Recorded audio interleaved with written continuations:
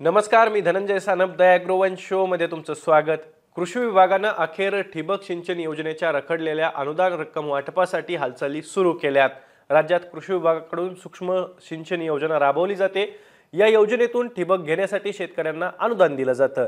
शेतकऱ्यांनी ठिबक सिंचन संच शेतात बसून आता तीन वर्ष झाली आहेत. पण मागच्या तीन वर्षापासून शेतकऱ्यांना अनुदान काही मिळालेलं नाही आहे त्यावरून कमेंट बॉक्समध्ये बऱ्याच शेतकऱ्यांनी ठिबक अनुदानावर व्हिडिओ करा असं आम्हाला सांगितलं होतं. ठिबक अनुदानाचं काय झालं असा प्रश्नसुद्धा शेतकरी आम्हाला कमेंट बॉक्समध्ये विचारत होते. त्यावरचं अपडेट आता आलंय. कोणत्या जिल्ह्यांना किती ठिबक अनुदान देण्यात आलंय आणि कोणत्या वर्षाचं अनुदान शेतकऱ्यांना मिळणार आहे याची माहिती आपण आजच्या व्हिडिओतून घेणार आहोत. शेवटी जिल्ह्याची यादी सुद्धा तुम्हाला दिलेली आहे ती तुम्हाला बघता येईल. तर कृषी विभागानं धावपळ करत एकशे तेवीस कोटींचं अनुदान मिळवत रखडलेल्या ठिबक अनुदानाच्या समस्येवर तात्पुरता तोडगा काढला आहे राज्य सरकारनं गुरुवारी म्हणजेच पाच सप्टेंबर रोजी अनुदानाचा शासन निर्णय प्रसिद्ध केला आहे त्यामुळं शेतकऱ्यांना काहीसा दिलासा मिळेल. आता तुम्ही म्हणाल तात्पुरता तोडगा का काढला? आणि एकशे तेवीस कोटी तर एका जिल्ह्याचं अनुदान रखडलेलं असेल. एवढ्या अनुदानात काय होणार आहे आमचं? बरोबर आहे तुमचं. पण राज्य सरकारनं विधानसभा निवडणुकीच्या तोंडावर राज्यात ज्या काही लाभार्थी योजना राबवायचा सपाटा सुरू केलाय त्यामुळं इतर योजनांच्या निधीला कात्री लावल्याचं बोललं जात आहे आणि त्यामुळंच ठिबकचं अनुदान सुद्धा रखडून पडलेलं आहे. खरं म्हणजे या योजनेचं चारशे कोटी रुपयांचं पूरक अनुदान रखडून पडलेलं आहे. त्याला राज्य सरकारकडून केवळ मान्यता देण्यात आलेली आहे. ते वितरित मात्र अजूनही करण्यात आलेलं नाही. आता मात्र त्यातील धावपळ करत कसं बसं एकशे तेवीस कोटींचं अनुदान शेतकऱ्यांना देण्यात येणार आहे? आधीच शेतकरी आणि ठिबक विक्रेते या योजनेच्या अंमलबजावणीतील गोंधळामुळे वैतागून गेलेले आहेत. त्यात आता मलमपट्टीचा प्रयत्न राज्य सरकारकडून केला जातोय. सूत्रांच्या म्हणण्यानुसार मुख्यमंत्री शाश्वत कृषी सिंचन योजना राज्य सरकारनं वाजत गाजत सुरू केली पण निधी देण्याची वेळ आली आणि हात आखडता घेतला. ही योजना मुळात राज्याच्या अवर्षणग्रस्त आत्महत्याग्रस्त आणि नक्षलग्रस्त जिल्ह्यांमधील शेतकऱ्यांना डोळ्यासमोर ठेवत दोन हजार एकवीसमध्ये सुरू केली गेली.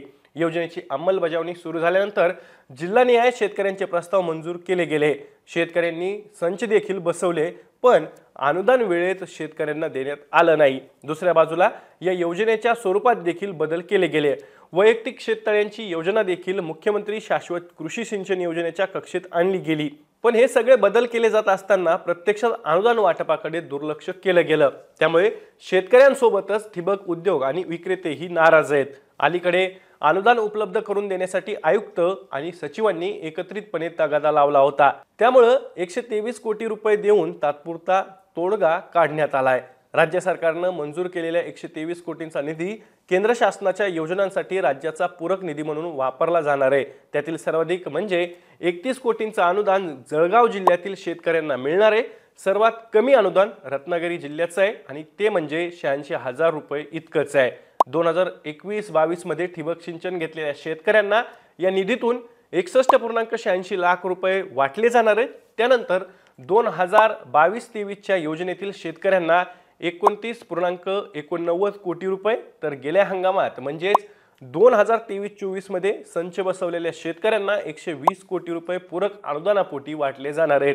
जिल्हानिहाय किती निधीची वाटप करण्यात येणार आहे आणि कोणत्या वर्षीचं अनुदान वाटप करण्यात येणार आहे? म्हणजे दोन हजार एकवीस दोन हजार बावीस आहे की दोन हजार तेवीस आहे? त्याची माहितीही तुम्हाला आता स्क्रीनवर पाहता येते आहे. या अनुदानाचं वाटप लाभार्थी शेतकऱ्यांच्या आधार लिंक असलेल्या बँक खात्यावर करण्यात येणार आहे. त्यामुळं पात्र शेतकऱ्यांना रखडलेलं अनुदान मिळणार आहे. मंजूर झालेलं पहिल्या टप्प्यातील अनुदान लवकरात लवकर पात्र शेतकऱ्यांच्या बँक खात्यात जमा होण्यासाठी प्रशासनाकडून नियोजन केलं जात असल्याचं कृषी विभागाकडून सांगण्यात आलं आहे तुम्हाला अनुदान जमा झालं आहे का? तुमचं अनुदान रखडलेलं का? कमेंट बॉक्समध्ये हो किंवा नाही म्हणून नक्की सांगा. मी दररोज संध्याकाळी सहा वाजता ॲग्रोवनच्या यूट्यूब चॅनलवर शेती आणि शेतकऱ्यांच्या हिताचे मुद्दे घेऊन येत असतो. त्यामुळे तुम्ही अजूनही ॲग्रोवनच्या यूट्यूब चॅनलला सबस्क्राईब केलं नसेल तर लगेचच सबस्क्राईब करा. व्हिडिओ जास्तीत जास्त शेतकऱ्यांपर्यंत पाठवण्यासाठी व्हिडिओला लाईक आणि शेअर नक्की करा. पुन्हा भेटू तोवर तुम्ही तुमची आणि तुमच्या जवळच्या माणसांची काळजी घ्या.